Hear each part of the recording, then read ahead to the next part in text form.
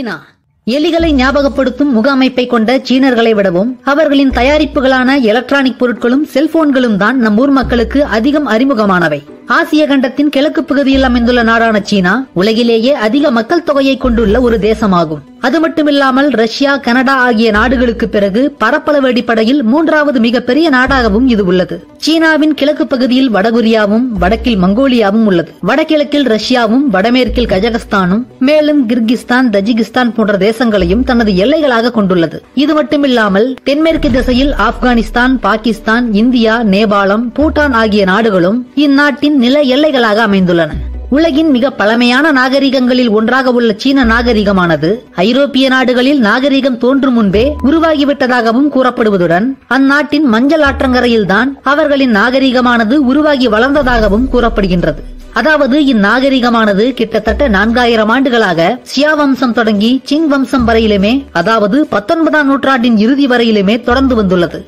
ஆயிரத்து தொள்ளாயிரத்தி பதினொன்றுக்கு பிறகு சீன குடியரசானது உருவாகி பிறகு சில உள்நாட்டுப் போர்களினால் இரண்டு முக்கிய அரசியல் குழுக்களாக பிரிந்துள்ளன.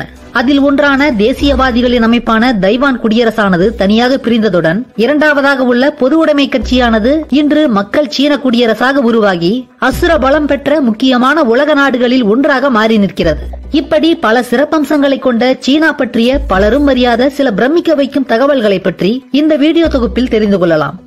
பல நூறு வருடங்களுக்கு முன்னர் உலகின் பெரும் பகுதியில் இருந்த ராஜ்யங்களும் கூட பட்டு துணியிலும் பனை ஓலைகளிலும் எழுத்துக்களை எழுதி வந்த நிலையில் சீனாவில் கிமு நூறாம் வருட காலத்திலேயே காகிதமானது பயன்பாட்டில் இருந்துள்ளது. ஹன் வம்சத்தின் பேரரசரான ஹோஜி என்பவரின் கீழ் பணிபுரிந்த ஒரு அரசாங்க அதிகாரியான ஷா யாய் லூன் என்பவரால் தான் முதன் முதலில் காகிதம் கண்டுபிடிக்கப்பட்டுள்ளது. இது மட்டுமல்ல இன்று டாய்லெட்களில் பேப்பர்களை உபயோகப்படுத்தும் முறையையும் சீனர்கள் தான் முதன் முதலில் வழக்கத்திலும் கொண்டிருந்துள்ளார்கள். கழிப்பறையில் காகிதத்தை பயன்படுத்தும் யுக்திகளை எல்லாம் தாண்டி கன் பவுடர் எனப்படும் துப்பாக்கி குண்டிற்கான வெடிமருந்து திசை காட்டி மற்றும் எழுத்துக்களை அச்சிடும் கலையையும் சீனர்கள் தான் முதன் முதலில் கண்டறிந்துள்ளனர். கிபி எட்டாம் நூற்றாண்டில் ஒரு இயந்திரம் மூலமாக மரத்தூள் மற்றும் பிசின்களை கொண்டு காகிதத்தில் அச்சிடும் முறையை பின்பற்றி வந்துள்ளனர். அது மட்டுமில்லாமல் காந்த திசைகாட்டிகள் கண்டறியப்படுவதற்கு முன்பே கிமு இரண்டாவது நூற்றாண்டுகளில் சினான் என்று அழைக்கப்படும் ஒரு வகை திசைகாட்டிகளும் வழக்கத்தில் இருந்ததாகவும் கூறப்படுகின்றது. சாப்ஸ்டிக்ஸ் எனப்படும் உணவு உண்ண பயன்படுத்தும் குச்சிகளை சீனர்கள் உபயோகப்படுத்துவதை நாம் பலரும் பார்த்திருப்போம். சீனா வியட்நாம் கொரியா மற்றும் ஜப்பான் உள்ளிட்ட தேசங்களில் இன்றும் பயன்பாட்டில் இருக்கும் இம்முறை சீனாவில் கிமு ஐநூறாம் ஆண்டுகளில் தொடங்கி பயன்பாட்டில் இருந்து வருவதுடன் கிட்டத்தட்ட இரண்டாயிரத்தி ஐநூறு ஆண்டுகள் பழமையானதாக மட்டுமில்லாமல் இன்றும் இது வழக்கத்தில் இருந்துதான் வருகின்றது.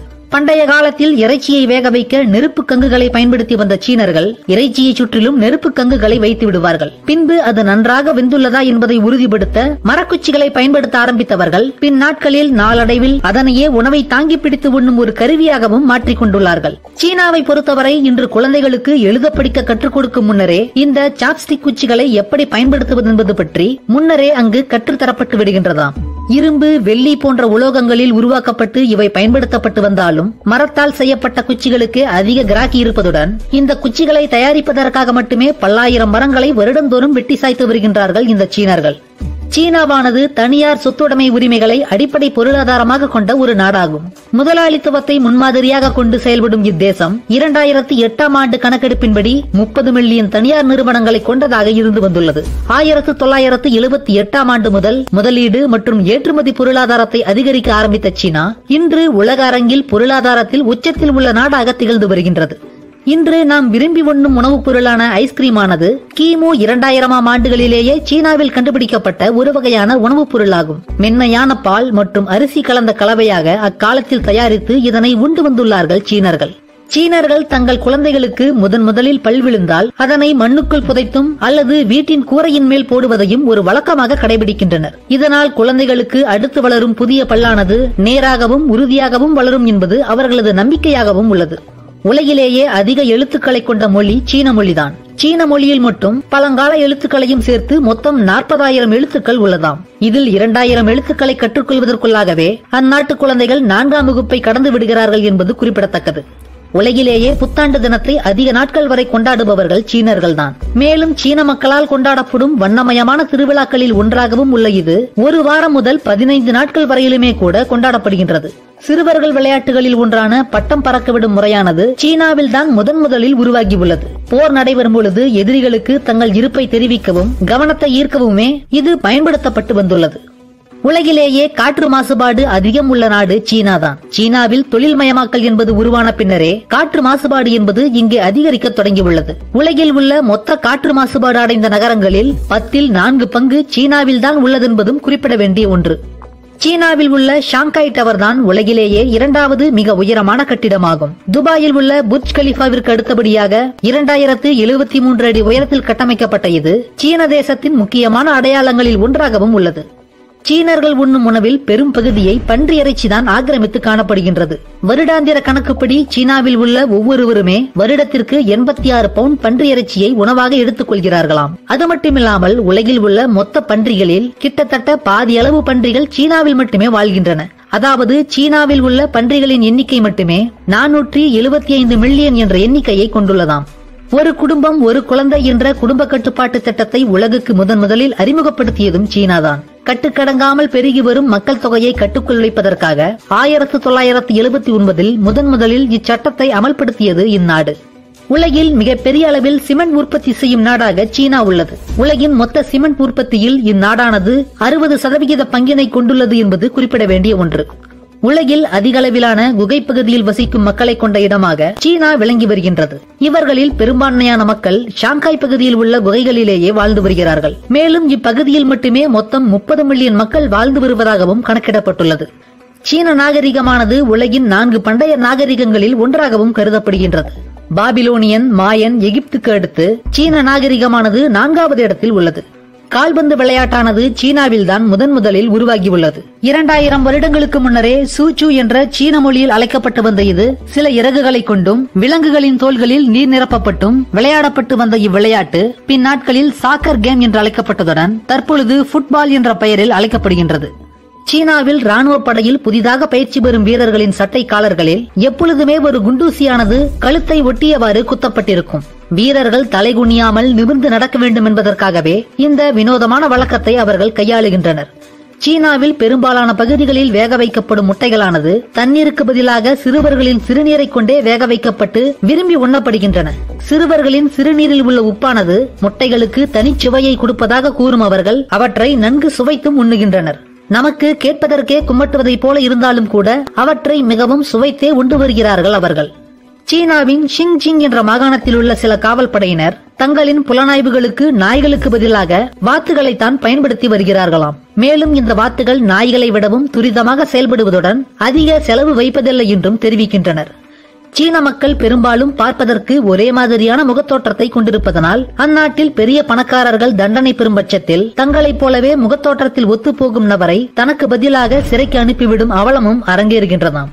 வீட்டில் வளர்க்கப்படும் செல்ல பிராணிகளில் ஒன்றான பூனையானது உலகம் முழுக்க விரும்பி வளர்க்கப்பட்டு வருகின்றது சீனாவை தவிர. ஏனெனில் கண்ணில் பட்ட அசைகின்ற எந்த ஒரு உயிரினமாக இருந்தாலும் கூட எடுத்து எண்ணெயில் போட்டு பொரித்து வாய் வழியாக வயிற்றுக்குள் தள்ளி ஏப்பமிடும் சீனர்கள் இந்த பூனையை மட்டும் எப்படி விட்டு வைப்பார்கள்? பூனை கறியை மிகவும் விரும்பி உண்ணும் சீனர்கள் ஒரு நாளுக்கு ஆயிரக்கணக்கான பூனைகளை உண்பதற்காகவே அதன் உயிரை யமனுக்கு பார்சல் செய்துவிட்டு உடலை மட்டும் எடுத்துக் கொள்கின்றனர். ஆர்டிபிஷியல் இன்டெலிஜென்ஸ் என்ற பெயரில் மனிதன் மூளையை கசக்கி ரோபோக்களை உலகம் முழுவதும் தயாரித்து வந்தாலும் அதையும் அடிமை வேலை செய்யும் ஹோட்டல் வெயிட்டர்களாக மாற்றி அழகு பார்க்கும் தேசங்களில் சீனாவும் ஒன்று. சீனாவில் பத்தில் ஒரு உணவகங்களில் ரோபோக்கள் வேலை செய்வதை நம்மால் பார்க்க முடியும். இவைகள் சமையல் செய்வதற்கும் பரிமாறுவதற்கும் பயன்படுத்தப்படுகின்றன. எலி பூனை பள்ளி பூரான் ஆடுவது ஓடுவது நடப்பது ஊர்வது பறப்பது தவழ்வது என வகை தொகையில்லாமல் வாயில் வாரியடிக்கும் சீனர்களுக்கு பால் என்றாலே அலர்ஜியாம். கேட்பதற்கு நம்பும்படியாக இல்லை என்றாலும் அதுதான் உண்மை. பால் சார்ந்த உணவுப் பொருட்கள் எதுவுமே தங்களை குமட்ட வைத்து விடுவதால் அவற்றை அறவே தவிர்த்து விடுகிறார்களாம் இந்த சீனர்கள்.